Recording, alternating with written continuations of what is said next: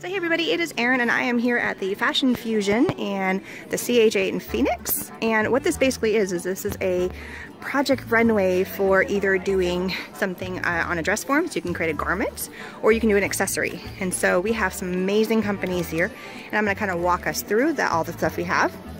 Over here we have Clover, and they brought some really cool, fun things. So over here we have Pebeo, and they brought a whole bunch of cool iron set paints and paint pens. We have Beadalon over here, and they brought a ton of cool tools because the accessories you could easily do a necklace or a bracelet or headband or something fun. Over here we have deco foils. They brought some really fun colors for us to play with. So lots of cool things from them. Back here are all the fabrics that we get to pick from and kind of play with. And then Brother kind of go slow here. Brother has supplied all of the sewing and also the scan and cut. So we have those materials and items to play with. And then we also have a sewing kit. Everyone over here, we get a sewing kit. And I'm gonna tell you to show the accessories. Well, it's pretty cool. So here are the sewing kits, and here's McCall's. All their fun, um, if you're gonna do a garment, then they have some patterns here that you can play with if you don't wanna do it on your own. And then there is a ton of stuff over here. Let me get this down here. Ton of supplies for all your accessories, whatever you would like to do. All kinds of really cool embellishments are up here. I mean, it just, it never ends. There's just tons and tons and tons of stuff. And they're so pretty. I just love them all. Everything from basic thread. I need to pick up some needles because I don't see those here. I need to grab them. So there's just a little bit of everything. And there's even more booths. Just hang on. So over here we have Faber-Castell, and they're here with their gelatos and some of their uh, just kind of mixed media stuff and some of the stencils. Thanks for joining us, everybody. Yeah, say hi. hi. so here's from Faber-Castell over here. And what is your name? Jamie. This is Janie. Doherty. Hi. this is my little booth right here, and my friend, Bets, she's over here. We're working together, not on separate projects, but the same table. So we are over here at Sizzix with Eileen Hull, and she is over here doing a little photo shoot. We'll get her to talk here in a minute. And here's Anita. Can you wave hi? Say hi. And so Eileen has brought her stencils here, not stencils, sorry. She's brought her die cuts here to cut out for us to use with all the fun things with her Sizzix dies. So which dies do we have with us today? Well, we have some flower dies today. They all have holes in the center. They're 3D flowers. So what we're doing is we're using our twist and style tool to make the center. Ooh. And then putting a jewel in the middle and uh, kind of threading our flowers through. And then using those to make headbands. Cool, but we could use those flowers for other things too, oh, right? Yeah, Doesn't sure. have to just be for the head. or just arrangements on the table. You can cut them out of felt flower. Do you have one fabric. somewhat done right Uh, now? Yeah, there's one right over there. Let's yeah. take a look at that. Here is one of the flowers that she's talking about with the bead, and then you Yeah. put it on the wire and twist it up, Yeah. which is what Anita's doing over there right is. now. So she's twisting up, and then We're she said, try it with five in the center, and then these so here's some of the the- ideas. This Very is actually pretty. what's on the palette that didn't arrive yet. Oh, gotcha. So these will be here. they're, they're coming, they're coming. And you're doing all these with felts. Yes, Very cool. These are felt, and uh, I have a new collection called Heart Felt Ah. because I love dies. Fun, And fun, fun. Also, So clever. Oh, yeah, but you can use your dies not just for paper, but for felt, fabric, cork, you know, chipboard. And do you need to do any kind of extra insert to put that in to make it what, cut through the felts? No, no. You just use your steel rule dies. Okay. Uh, if you're using your thin, the wafer thin dies, they will cut, but you need to use um, the precision base plate on your Thinlits, and that helps it get a better, cleaner Okay. cut. But you do recommend using the thicker dies like you have Yeah, right they're just there. easy. Then you can you can even stack them. Yeah. Oh, so how many layers of felt could you cut through at one time? Well, I wouldn't do more than two. Okay. I would roll it through twice. You have to kind of. Oh, I rolled back and forth, back and forth like 18,000 yeah. times, and Yeah, I think all of us are you're like, yeah, yeah, yeah. until it cuts. So to experiment with it, but it, it depends on the felt because you have the craft felt, which is kind of made out of water bottles. So- it's a little harder to cut. That's what this is. okay, this is craft felt that we're working with. The,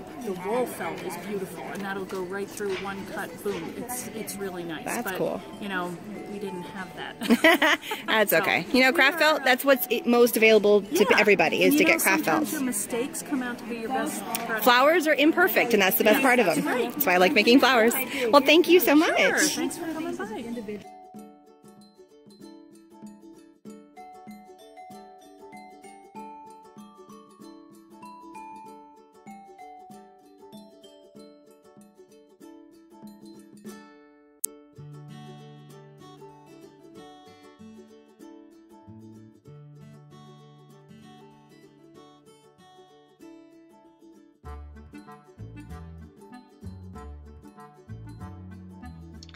So everybody, you just got to see um, all the fun things that I did at Fashion Fusion, kind of a little overview, some of the companies, some little still shots of what was happening at the time. Um, this is what I made. So just to kind of give you a rundown of all the fun things that I made while doing this. Um, the fabric came from Fabric Editions. I had these huge panels and you saw me cutting them out on the Brother the scan and cut. Um, I had, I picked out, this was my starting point. This was my inspiration was this particular pattern and it was a whole bolt of it. Um, they had reams of, not reams, they had bolts of material out there for us from Fabric Edition. So if you were making a garment, you had plenty of options and you were supposed to put one of every brand in your um, pieces that you were making. So I made um, this purse and this was the jumping off point. So all the colors I got from then on after came from doing this particular uh, fabric. So that's where I pulled this this color because it kind of matched. I pulled the gray because there was gray in there, the white, um, and then all the other colors, the lime greens and the other colors of blue is where I went. And then obviously silver because gray and silver kind of go together. Um, the next thing that I did and I made some little boo-boos here and there. This was the very first purse I have ever made, so I thought I did pretty good. The next thing that I did is I went through and I took just white material and I glued all of everything on.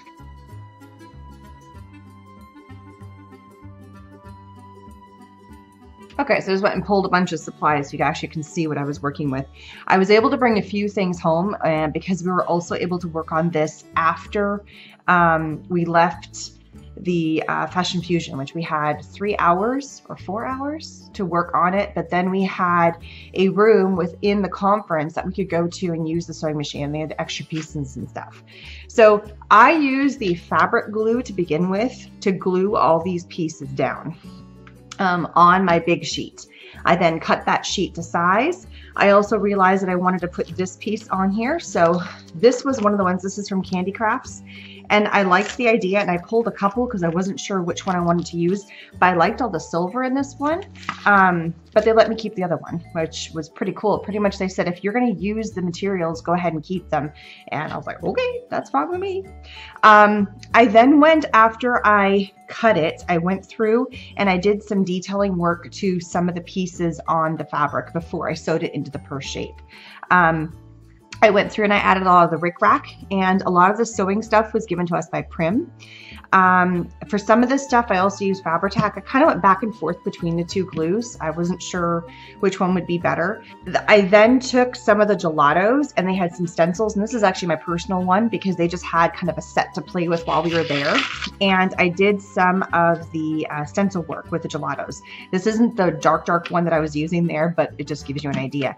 And they had these stencils out and it would work on fabric and then you heat set it with a little bit of an iron and you're good to go. And it doesn't rub off, which I thought was pretty cool. I didn't realize gelatos can work on fabric, which is pretty awesome.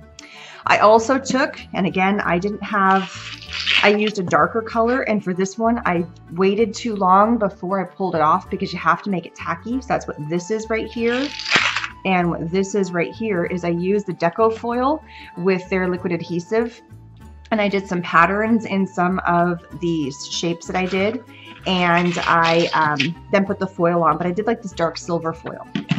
I also went through and I outlined every single panel that I had on here in this um, opaque, this is a silver color and it's by, and I'm never going to say this, I always say this wrong, Piebo.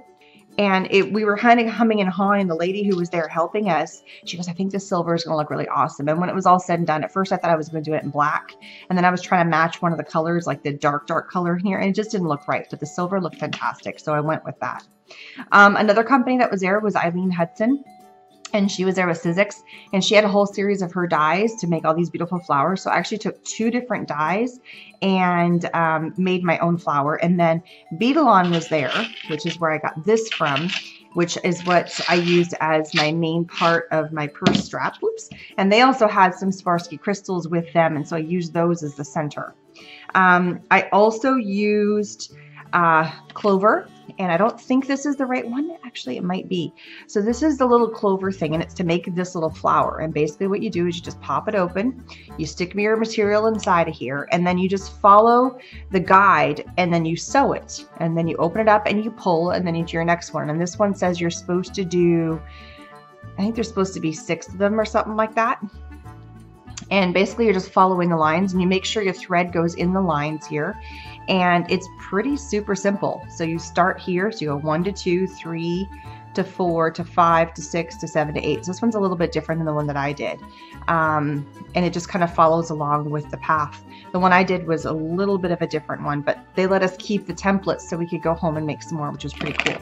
So I got to play with that as well. And then the little um, gem here was on a table with a bunch of other materials that we got from Prym and from Candy Crafts, and they were kind of like our essentials, same with the Rick Rack. We also got um, some scissors from Fiskars, and we got a basket, which you're going to see all of the stuff I got from doing all this tomorrow. So don't make sure you come take a look at that.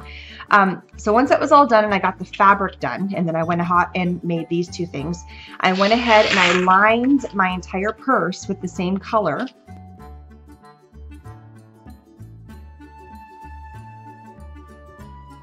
I went a little fast on some stuff and kind of overglued a few things, which it just, you know, when you're in a time crunch, there's going to be boo-boos. That's the way it goes. So I sewed the whole edge. I made sure I sewed my line. I inverted it. I sewed up the sides to make an actual purse. That's what you see here. And then I kind of finished it off and make sure everything looked good. I then, instead of sewing this piece on, I glued this. And this one I did use the Fabri-Tac. So I glued this and then I glued my two flowers on here. Um, what I didn't get a chance to do was put any kind of clasping mechanism. Um, by the time I realized that I needed one, everything had already kind of been cleaned up and I didn't get a chance to get that. So that would be the only thing I would really change besides cleaning up a few things, making sure I got that correct. I would probably have gone back and redone that. Some of the um, ink got a little smudged here and there. There's some little boo-boos right here. So like here's another one that I used, the gelatos, but in this kind of neon or uh, lime green color you know, some of my pressing is a little bit off because I didn't get it completely centered correctly. There's still some glue marks, but I mean, overall, I love the idea of my purse, and I think that was great. From doing my very first purse, I think I kind of rocked it. Um, I didn't win, but my friend that went with me and um, I actually stayed at her house. Bets I was there. She made this beautiful necklace. It kind of reminds me a little bit of this, but she did fabric, and here's a picture of that.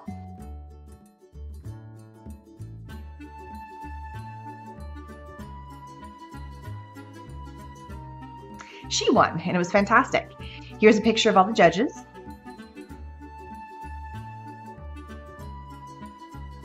We had lots of fun. The idea that I got to make something and got to play with brands that I hadn't played with. I hadn't played with the deco foil.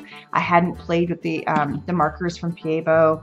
Um, the brother Scan and Cut was pretty darn awesome. I got to play with some stuff from Candy Crafts. I've I've seen these little flowers, but never played with them. I hadn't die cut on felt, so I thought that was kind of cool. I got to branch out of my norm, um, play with some products that I have played with in the past, but never in the way that I did it on this project. So that part was also pretty cool.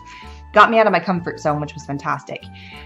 I chose to do accessories, but you really could have done just about anything. You could have done um, a headband. Um, so in the accessories, you could have done a headband. You could have done a purse. You could have done a piece of jewelry. You could have done a, a collection of stuff too. I didn't realize that until after that they were cool with you doing more than one piece. It didn't just have to be one thing. I thought it had to be one object, but I misunderstood that. Um, you could either pick accessories or you could pick a garment. Um, and the garment was make a piece of something, a shirt, a skirt, a dress, something like that. And then you could partner up with somebody and somebody did the accessories and somebody did a garment. So it really depended on what you wanted to do with that. And I am not a pattern dressmaker at all. I cannot do that. So I went with accessory and did a little bit of sewing, which was kind of fun. Anyway, so I had a blast. I had super fun, and thanks for stopping by and checking out my purse from Fashion Fusion Creativation 2017. Thanks so much. Please subscribe. Bye bye.